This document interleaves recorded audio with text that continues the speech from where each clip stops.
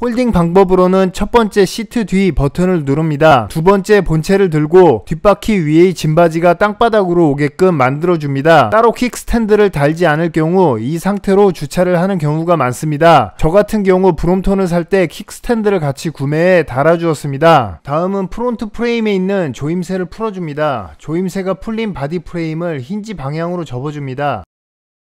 힌지 방향으로 접을 때 front 프레임을 살짝 들어줍니다. rear wheel 옆으로 걸림쇠를 걸어줍니다. 걸어줄 때 영상에 표시된 프레임에 걸리는지 위치를 확인합니다. 핸들 아랫부분에 위치한 조임쇠를 풀어줍니다. 핸들을 힌지 방향으로 접습니다.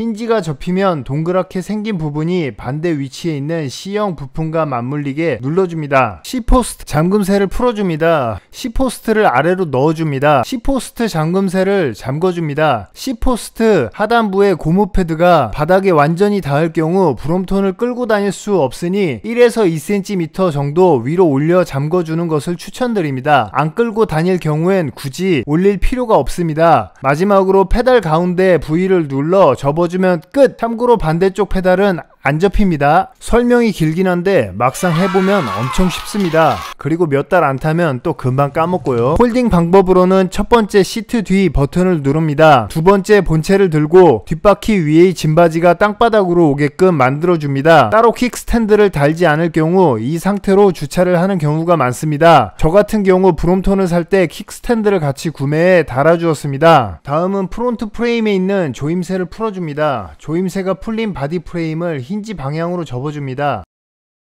힌지 방향으로 접을 때 front 프레임을 살짝 들어줍니다. rear wheel 옆으로 걸림새를 걸어줍니다. 걸어줄 때 영상에 표시된 프레임에 걸리는지 위치를 확인합니다. 핸들 아랫부분에 위치한 조임새를 풀어줍니다.